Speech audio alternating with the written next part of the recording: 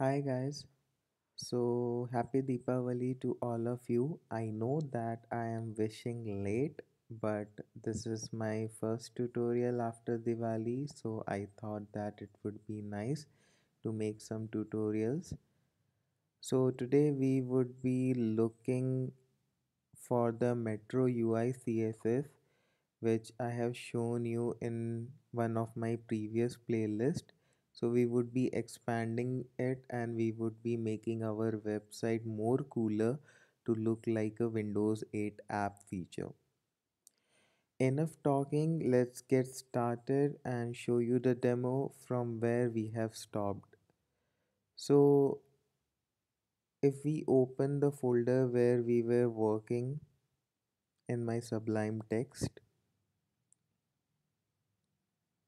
This is the folder Metro UI in which I have created the index.html file.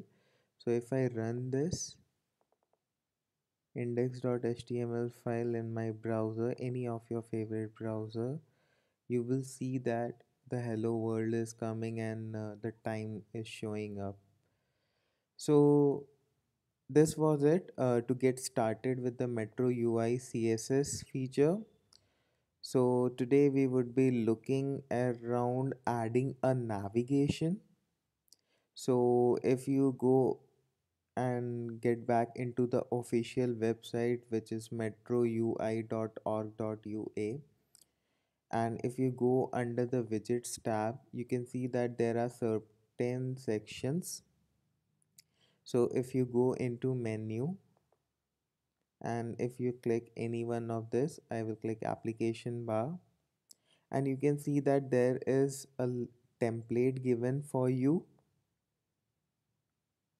These are the templates and the classes that has to be used so that it will show to a particular styling. And at the downside it has mentioned what it is all about. So such as fully automated what does it mean use data load is equal to app bar. So what it will do and why is it necessary to add it? So these kind of a feature you can go ahead and look around in the documentation and use it according to it. So you can add this feature also. So yeah this is the template for it for the top navigation that you are seeing here so you have to look around and you have to choose which menu or which particular css you liked about and you can take the template out of it and you can show it in your website. So just for demonstration purpose i am going to use this example app bar so i will copy the html for it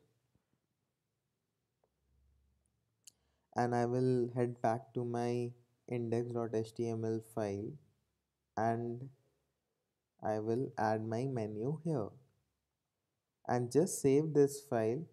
You know that already metro.css is being referenced so whatever classes that we are using here is already defined in metro.css and we have loaded the jquery and we have loaded the metro.js which is responsible for initializing the widgets.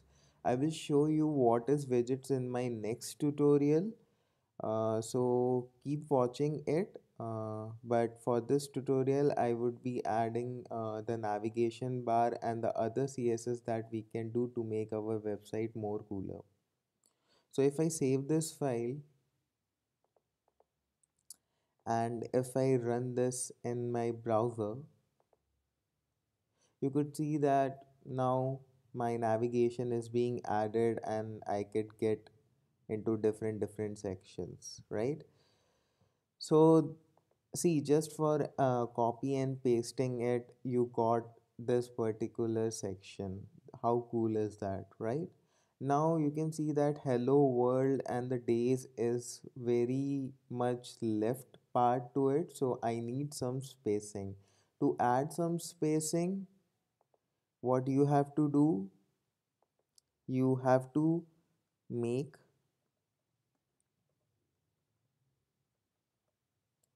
you have to make use of a class known as container which is already defined in metro css which we have included in our head section of a document. So if i save this file now if i run this you can see that hello world is shifted from left side to little bit have some spacing. That's much cooler right? Now coming back to another section you can choose any navigation bar uh, it doesn't matter as long as you know for which website you are using and how it will look more nicer. So let's see uh, in metro icon fonts metro ui also provides you an icon but for using these icons you have to first import the necessary icon files. So if you go into css and you can see that you have metro icons.min.css so to add icons what i will do? I will copy this link tag and i will paste it here. And i will write metro icons.min.css metro icons dot mints dot css so i will save this file but to use these icon files what i will do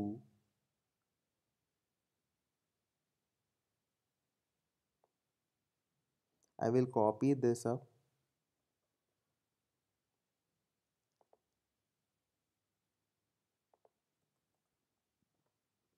and I will make some div tag so that it will appear in next line not as an inline styling and I will paste it here.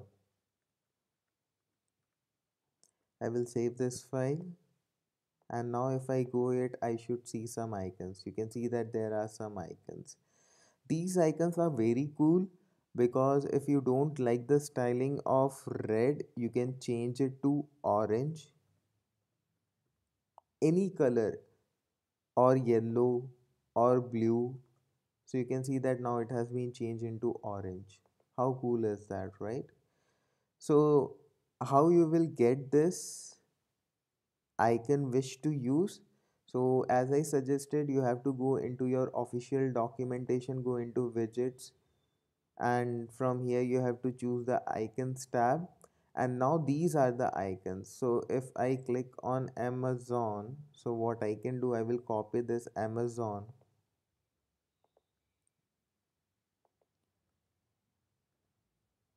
And what i will do i will just put span again here to add the amazon. And inside of mef earth i will just use amazon.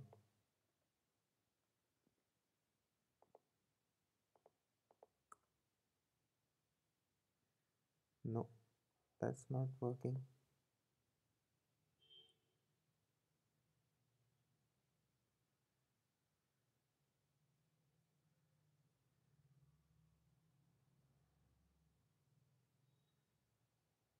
okay.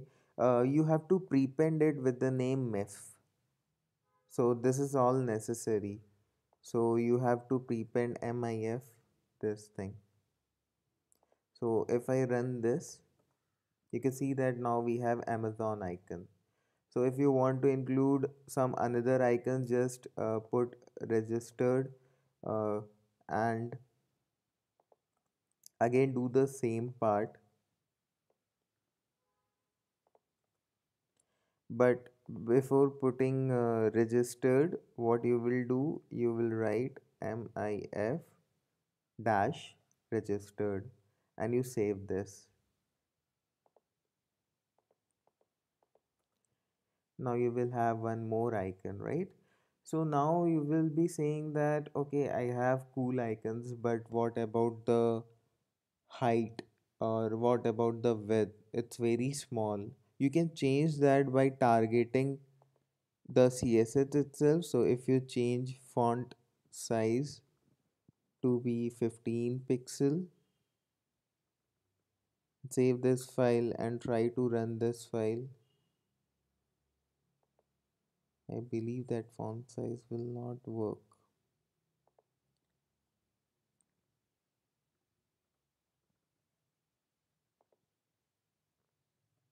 yeah so you can see that font size now moved to 50 pixel and now it has increased. So in this way also you can increase the font size. How cool is that? Targeting the css properties and changing the icon dynamically right? So these are about the icons. Let's see what we can more add to make the website more cooler so these are the icons that you can use. It's very very nice icons. So definitely it's worth it using in your website. Using forms and inputs if you want to have some forms checkbox will look like this. So if i want i can add different different styling. You can add switches right so these are all already inbuilt. Just copy and paste the particular section and there you go you have it in your website. So just for demonstration purpose i will take this switcher.